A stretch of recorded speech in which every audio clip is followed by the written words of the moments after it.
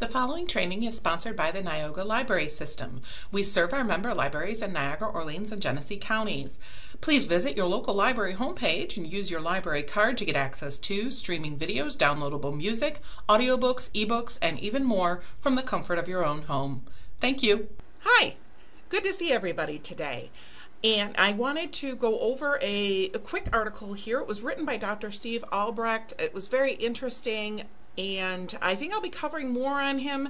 Uh, he has a lot of customer service ideas and writes a lot of books. He's, he's got uh, things on recommended books on verbal judo and that. So we'll see how that goes. But uh, in this particular one, this is from Customer Service Manager. It's apparently it's an online magazine um, for customer service managers and professionals, and it's called a great model for keeping customers happy. Now, I do want to mention I believe that a lot of this starts top down and hopefully that you get good support and everybody is on the same boat. If you're not in your organization, then this kind of stuff can be tricky to do, but work within the parameters uh, that you have. And uh, what's the old phrase? You got to dance with who brung you, right? So, uh, keeping that all in mind, uh, let's take a quick look here. Companies large and small have been sued by unhappy customers who are merely looking for a little compassion, humility, and apology. Um, they talk about here, he talks about author Malcolm Gladwell reminds us that physicians tend to get sued for malpractice by patients who believe their bedside manner is sorely lacking, abrupt, rushed, or dismissive. Being compassionate, being empathetic, um, it, it's showing that uh, can be really good though. Okay. Um, so when there's a customer encounter, it becomes very important that all employees, from uh, administration to the middle managers to frontline workers, all uh, work hopefully from the same page. Um, generally, here, uh, Dr. Albrecht goes on to say the solution is not generally to round up your customer contact employees and give them classes on how to be nice to customers.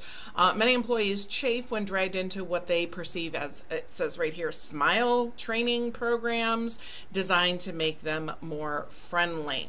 Um, it's not always easy to get anybody, he says, get employees who are tired, frustrated, or apathetic uh, to respond to the needs of entitled, angry, or simply confused customers uh, who demand a high level of service.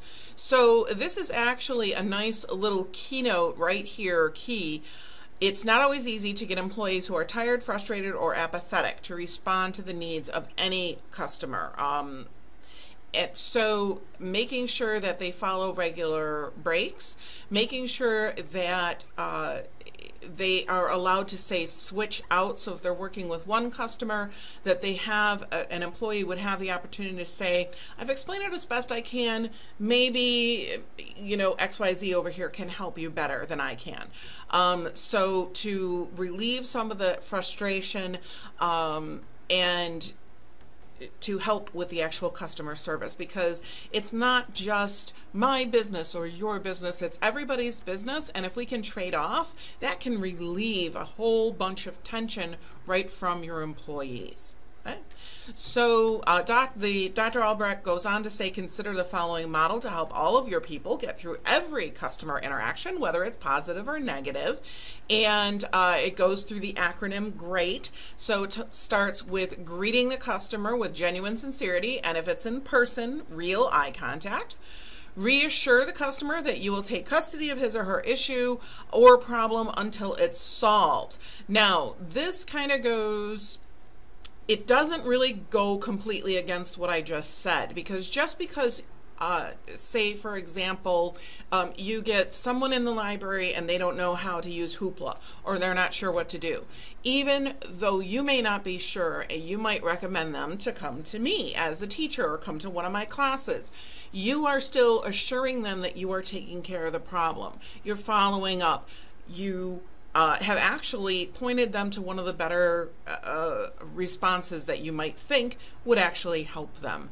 You can always call me too in the office. So, but Okay? So reassure the customer that you are, even if you're handing them off, that you're still involved in the process and that you will make sure that they're happy at the end of the process.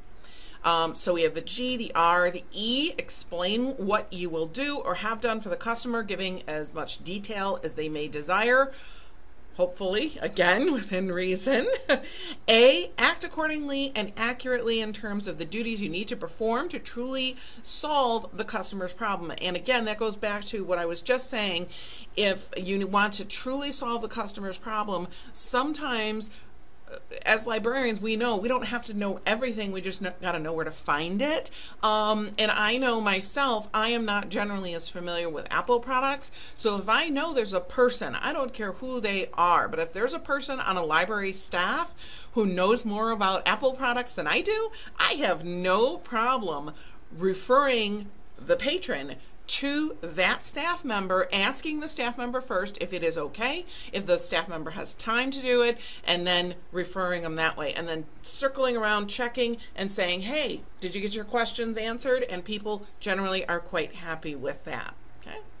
Uh, and the last uh, for great is T. Thank the customer for his or her cooperation, patience, and business. It's a great way to do customer service, and I Hope you find it interesting. Not just another smile smile training session, but uh, if we can use these and follow through, hopefully we can have return patrons, return customers. All right, thanks. We'll see you in the next video. Bye now.